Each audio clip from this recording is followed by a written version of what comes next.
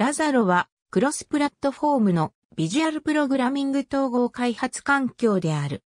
オープンソースの Pascal コンパイラである Free Pascal 向けに開発された。これは Pascal 及び Object Pascal プログラマのためにラジアンの一つである Delphi によく似たフリーの開発環境を作ろうとするものである。 Free Pascal はオープンソースのコンパイラで Linux、Win32、OS2、MacOS、BSD、68K といった幅広い環境に対応している。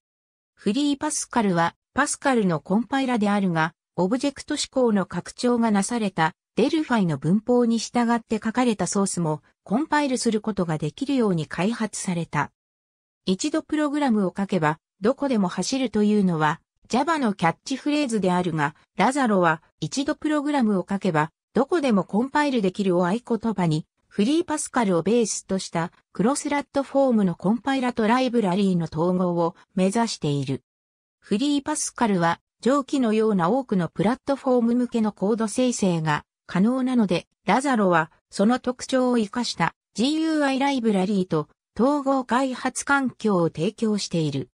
ラザロではコンポーネント等を用いるアプリケーションであれば、たとえ GUI アプリケーションでもプラットフォーム別にプログラムを書き換えなくてもいいように設計されている。Pascal のラジアン、GUI アプリケーション開発言語としては、Windows では、 Borland の Delphi が歴史が古く、安定しており、サンプルや資料も多い。だが、 Delphi は Windows でしか動作しない。 Free Pascal と Lazarus を用いると、日本語部分の処理を除けば、多少の修正で、Linux や MacOS などで Delphi で書かれたプログラムをコンパイルすることができる。特に最近の流れとして、海外では、 Delphi や Pascal で書かれた優れた多くのコンポーネントが、 Lazarus や Free Pascal 向けに移植され、同じソースからコンパイルできるようになっている。修正可能かどうか、また、修正量はプログラムに依存するので、どういう部分が異なっているか、 Lazarus のウィキが参考になる。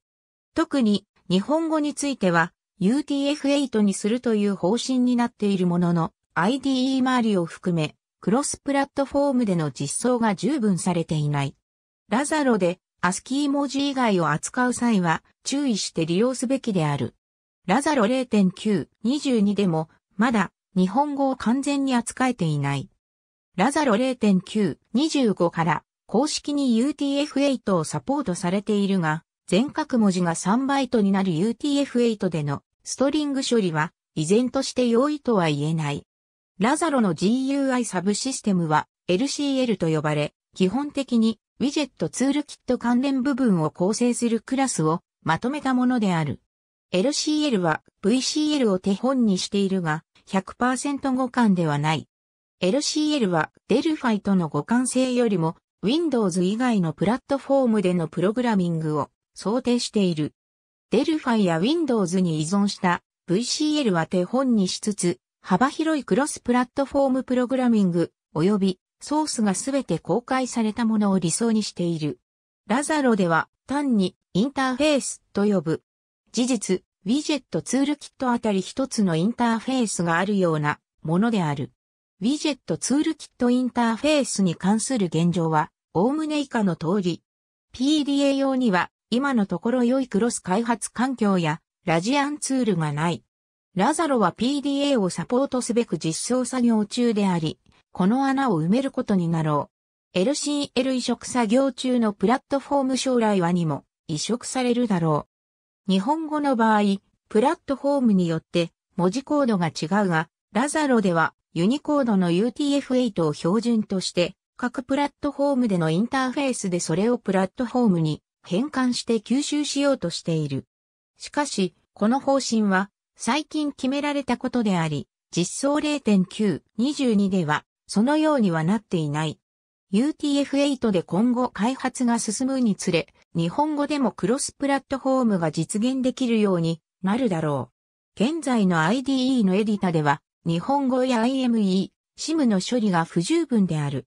ラザロの Windows 版はシフト JIS での編集になっているが、フリーパスカリッププロジェクトでは暫定的に IDE エディタの日本語パッチを公開している。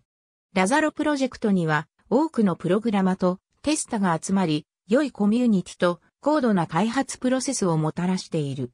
問題点があれば、ディスカッションボードで解決され、プログラマがそれを修正するパッチを投稿する。毎晩テスト前のビルドが作られ、ベータテスタに渡される。ラザロの開発は大変ダイナミックである。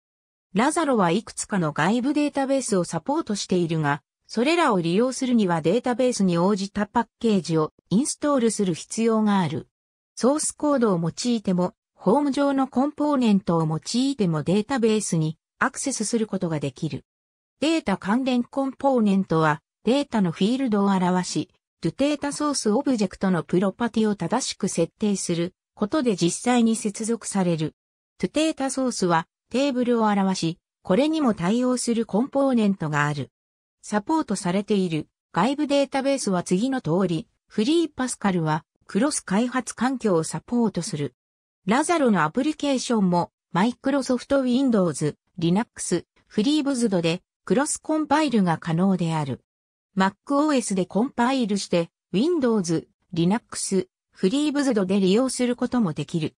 MacOS へのクロスコンパイルは可能になっているが、まだ一般公開されていない。 Delphi のラジアンにいろいろな点で似てはいるものの、パフォーマンスや使用上の制限がある。